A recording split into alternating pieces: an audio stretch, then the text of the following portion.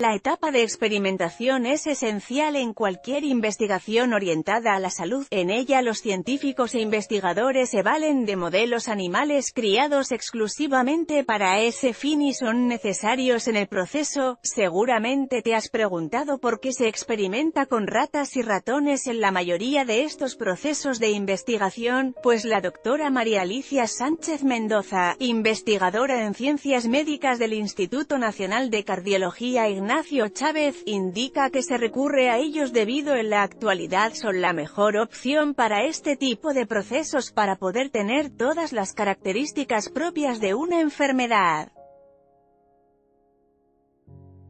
Desarrollada por un ser vivo, no hemos sido capaces de generar otras opciones que funcionen mejor que un sujeto vivo. Sánchez Mendoza, quien también es miembro nivel 2 del Sistema Nacional de Investigadores, SNI, explicó que se experimenta también con otro tipo de animales, además de roedores por ejemplo primates y cerdos, sin embargo de todos ellos, los ratones guardan más similitud fisiológica con los seres humanos, además que por su tamaño la cantidad de fármaco que se emplee para aliviar una enfermedad o producir una situación patológica es realmente mínima en comparación con otras especies cuyo tamaño es mayor.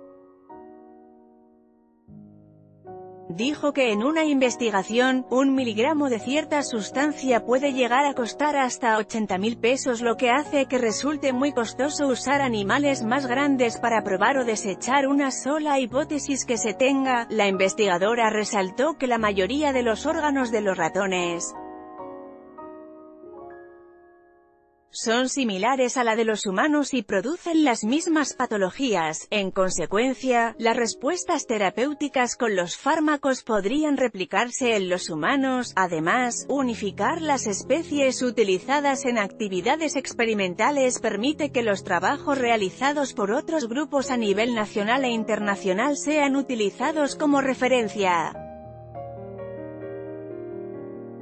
Eso hace posible realizar una estandarización de las observaciones, lo cual a su vez implica un mejor traslado de esos conocimientos a la etapa clínica. Esta nota incluye información de CONACIT en esta nota.